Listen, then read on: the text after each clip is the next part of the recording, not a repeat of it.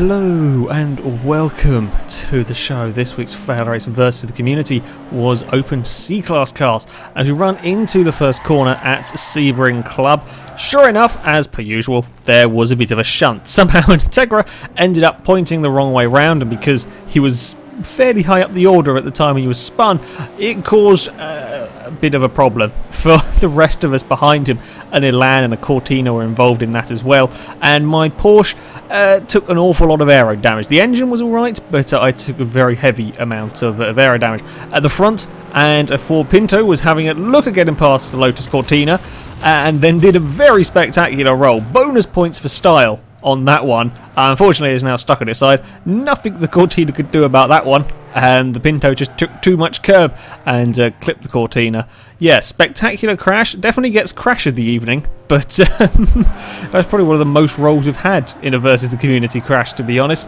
Uh, there was an almighty gaggle of cars that were, yeah, fighting for position. The GMC Vandura was the fastest of the lot in a straight line. I think it was ridiculously quick and was, uh, yeah, gone uh, uh, in front of Husky's Volvo. Husky was now coming under attack from another Integra. Uh, I'm not sure quite how much damage these cars have. If vehicles are smoking, don't necessarily trust the replay. They can be sometimes be a, a little bit laggy. Either way, the Integra uh, is now side by side with Husky as they run down the back straight. I was side by side with a Skyline. At some point, there was an awful lot of um, racing going on on this opening lap, which is what we want to see. Husky was on the inside for the next corner. The Integra couldn't quite get across uh, to cover, and a little bit of a touring car bump uh, going on there. The Alfa's on two wheels. Does a very good job of saving that Alfa. I thought that was going over. Um, the curbs here, pretty nasty for these cars, uh, though the Alfas are pretty notorious for rolling. We've seen, seen them roll a few times. Husky's up the inside of the Integra for the next corner, and while the Acura tries to hold it on the outside, can't really do very much. In front of them was uh, was my little scrap for, I think it was fourth place um, at this point in time. I'd managed to clear the Skyline uh, through the course of this lap as I round the final corner. Uh, maybe ran a little bit wide, come onto the straight with a fairly sizable margin to the vehicles behind, and I was sort of starting to slowly catch the Alfa in front. And then comes the speed of everything else. The poorly Porsche was struggling a little bit with that straight line speed, and the Vandura got past me before we even reached the first corner. I was very, very good on the brakes, and the Porsche has incredible brakes. Even with them, I couldn't quite get back at the Vandura. I got to its inside and kind of held it through the first part, and then, and then the Vandura was gone, and then very the Vandura breezed past the Alfa in front. And then I had another problem. It, it, it was a Volvo and an Integra were closing up rather quickly onto the back of my Porsche. Had to be very defensive into the next corner. But as I said, I had incredible brakes in the little Porsche and I could fend off Husky for now and the Integra was uh, the Integra was the fastest of all of us in a straight well, probably not quite as fast as the Vandura um, but yeah, it didn't quite have the handling. The Volvo was thinking about having up the inside, but again, couldn't really do much through the corners. The Porsche was a very good handling car. The Alfa in front of me got a big slide, and I had to be brave, uh, go around the outside, and I had enough grip. This, this Porsche was ridiculous, despite the huge amounts of aero damage I had on this car. I'm not even sure if I didn't have suspension and stuff. Still handling really rather well.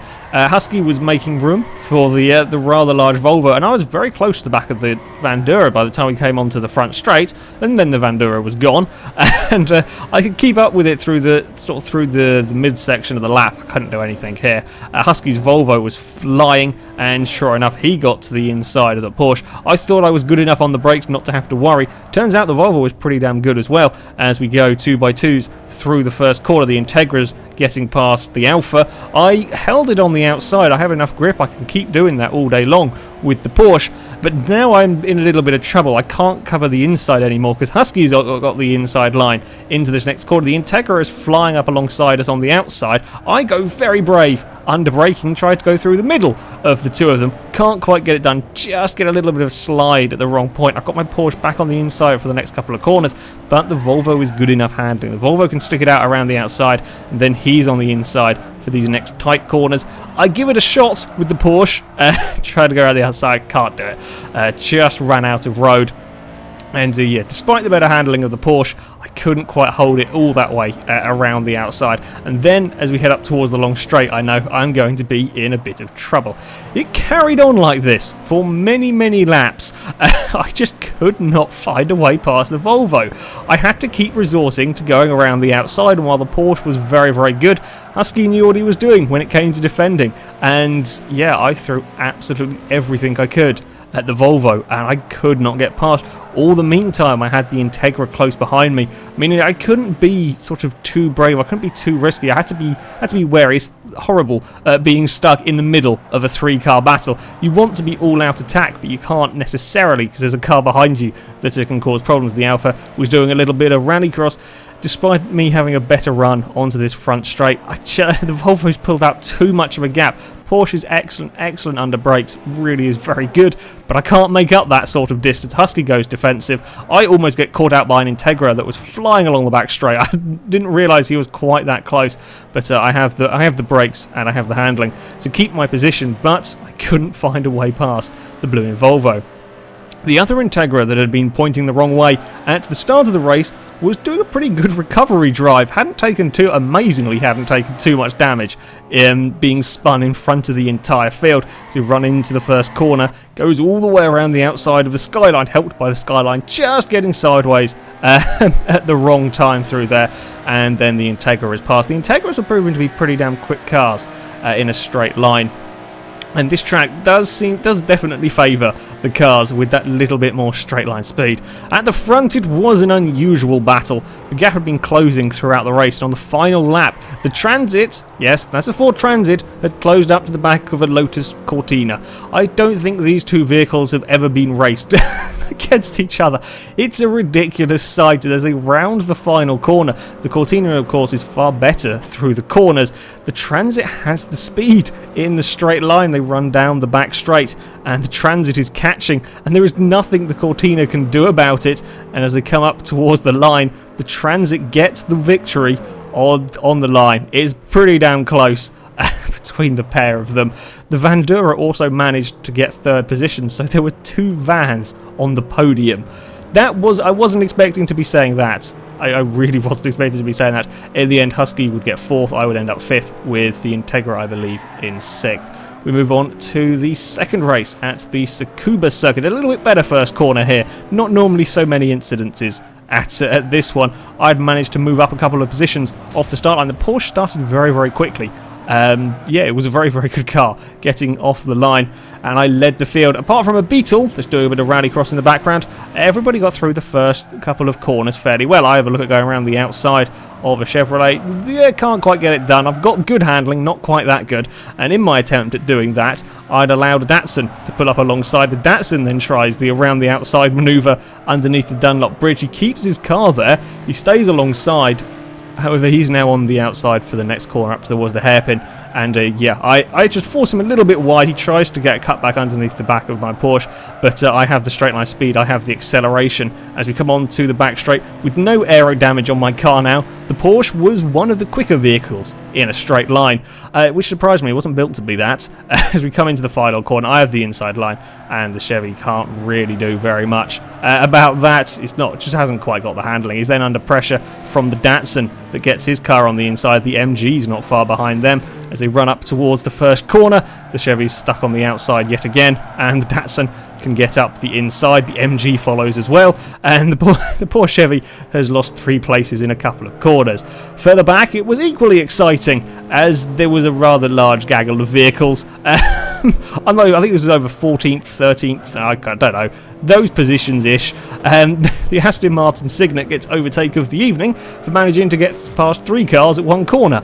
And well done to the Cygnet. As much as I hate the Cygnet, um, yeah, a very, very good manoeuvre as we run on to the back straight. The Cygnet isn't the fastest of vehicles in the straight line. The Beetle, I think, was the quickest of these lots. Uh, however, he wasn't that slow and could keep his car on the inside for the final corner, and there was nothing the rest of them could really do about it. So yeah, very good overtake, that one.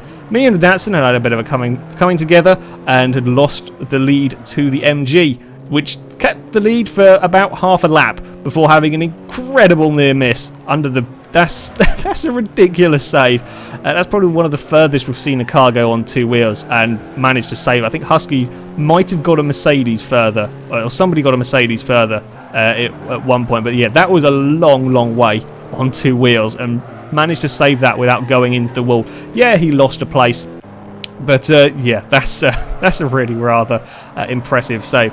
The Chevy had had a bit of a bump from Husky and had been dropped down the field and was working his way back up, battling with a rather bright screen. You'd notice um, that focus; it would probably glow in the dark, to be honest. Um, and a Lexus the, the Chevy was not doing too bad uh, in a straight line while my Porsche pulled up alongside it. I never really had a huge advantage over it, and sure enough, the Chevy was fast enough to get alongside the Lexus, and he was brave enough to go around the outside. May have had a little bit of a bump there, but uh, still going around the outside of that final corner is uh, pretty tricky to do, but it's not all over yet. The Lexus is right behind him as they come up towards the first corner. Lexus has a big dive, can't quite get the car stopped, and the Chevy can get the position. The Lexus is then in trouble uh, from the Focus, but uh, the Focus is not quite close enough, and the Lexus can get away with that.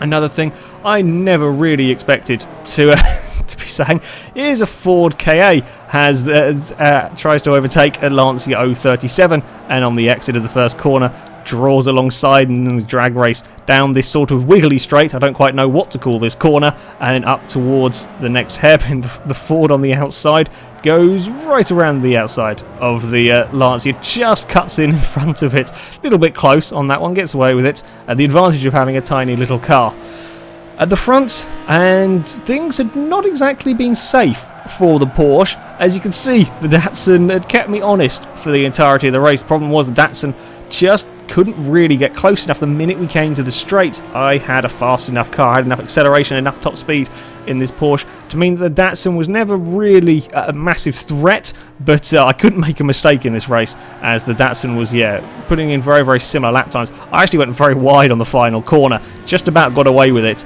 Uh, another lap would have been interesting to see what would have happened on that one. But yeah, the Porsche was performing much better at uh, at this second race. In the end, it was Datsun in second, MG in third, uh, Mini in fourth, and Husky got to fifth. Our third and final race at the Sedona Club Circuit, I managed to make up, I think, six positions, five positions off the start line alone before we even, even got to the first corner. That's how quick the Porsche was off the line. Somebody else was in a Porsche, so I decided to follow them through the first corner that would become utter carnage. Uh, the tiniest of contacts between an MX-5 and a Lancia saw the Lancia spin. Uh, the Lancia was leading the race and spun across the entire field. I believe seven cars got through that without pitting. Might have been eight. Um, yeah, seven vehicles, seven or eight vehicles made it through without having to pit. That's the extent of the damage we had in this race, uh, just from one tiny, tiny collision. It really was uh, a minute tap, just enough to unsettle the Lancia. Um, yeah, it was one of the biggest, not quite as big as the Civic crash we had, but certainly the second biggest uh, crash we've ever had in versus the community. I'd got away with only very minor aero damage, so my Porsche was absolutely flying yet again. Uh, breezed past an MX-5 in a straight line. The Mazda, good through the corners though, had to be a little bit wary, but uh, the minute we got into sort of any acceleration zone, the Porsche could pull away. At the front, the Toyota had taken a pretty heavy whack in the uh, the first corner accident and was having to fend off from a sprite. The happiest, in fact, this is a slightly scary looking uh, sprite. Normally, it's the happiest of looking cars. This time, it's a slightly yeah. You wouldn't want to see that car uh, in a dark alley. It's a little bit um, yeah. Uh, anyway, yeah, these two were squabbling over the lead. The Toyota was struggling with straight line speed. Once you take sort of 40% aero damage, 50% aero damage, you really do start to lose straight line speed. It looked like for a moment they were going to go too wide through this very fast chicane, which is never a good idea. Trying to trying to fit two cars through there. Sticky stuff on the inside is absolutely horrible. Uh, very easy to lose a lot of time doing that as they still side by side they come onto the front straight. I'd made my way up into third and with all of the straight line speed of the Porsche was uh, eager to try and make it three wide into the first corner couldn't quite get close enough. I end up out breaking myself out on the dirt, go a little bit sideways, uh, and then promptly fall off the track. Meanwhile, the Sprite was on the inside of the Toyota, and there was very little the Toyota could do about it. Although there wasn't a huge straight line speed difference between these two. The Sprites uh, in C-Class can never really have enough power um, to make them that good in a straight line as they come over the top of the hill. The Toyota, though, gets a big slide, and the Sprite is just that little bit safer for now. The MX-5 was making his way through the field. uh, despite really seriously struggling in a straight line. There were quite a few cars actually that struggled with their straight line speed on this race. It is possible, I don't know what levels of damage these cars have. The replay for this one is terribly glitchy um, when looking at telemetry. Ignore the recovery train going on. As I said, lots of vehicles uh, were broken. I think there was three or four of them that had to get pushed around by somebody else as, uh, yeah, the damage was quite extensive. Uh, after my little off, I recovered back to this lead group. At some point, the Toyota had retaken uh, the lead.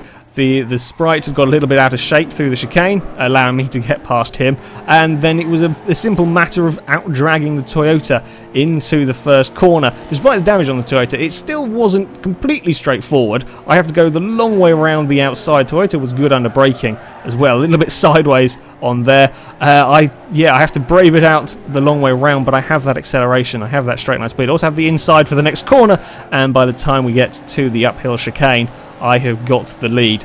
Uh, yeah, I did have uh, quite a bit of an advantage of this one, having one of the least damaged cars. I don't know, I don't think anybody actually got through that first corner without any damage at all. I know I certainly had one of the least amount of damage uh, on my car. Further back, this was over 5th place between the other Porsche and a BMW. These guys battled for good part of the race. Uh, the BMW gets a much, much better drive out of that corner. They're side by side, though, coming up towards the worst overtaking spot, possibly of any track uh, in the game. I can't think of a worse one at the moment. Uh, in the end, the BMW is wise and backs out of it. You try and fit two cars wide through there, and somebody is going to end up on the sticky stuff normally. Uh, it's a terribly tough place to uh, overtake. I had done a silly manoeuvre at some point and dropped myself back to third after running wide at the chicane and had to had to work my way back up to the lead. A lag spike had also put the Toyota behind uh, the Toyota 2000, sorry, into into the wall. So that's why he was back there. Uh, and then I, pretty straightforward to get back into the lead with the speed of the Porsche. I just breeze past the MX-5 in a straight line. The Sprite was a little bit quicker, but still, it was no match for the Porsche. Again, as I said, uh, aero damage, I don't know how much that was playing on the other vehicles. Sprite had a big off at the first corner and I could sort of scamper away.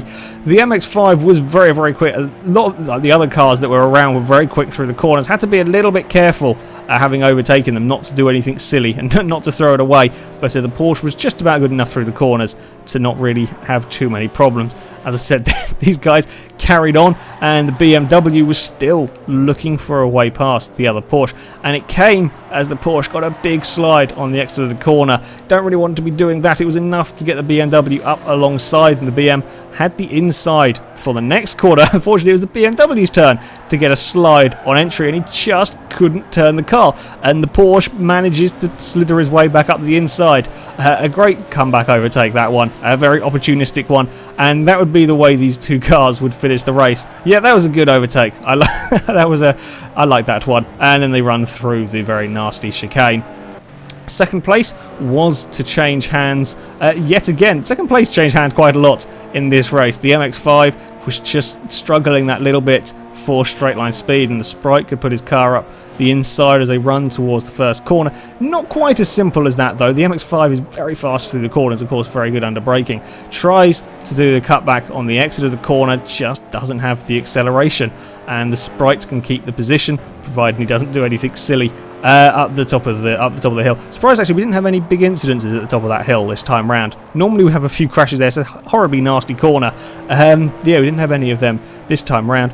Anyway, at the front, I had a couple of laps of peace and quiet and managed to pull a fairly large gap back to the rest of the field.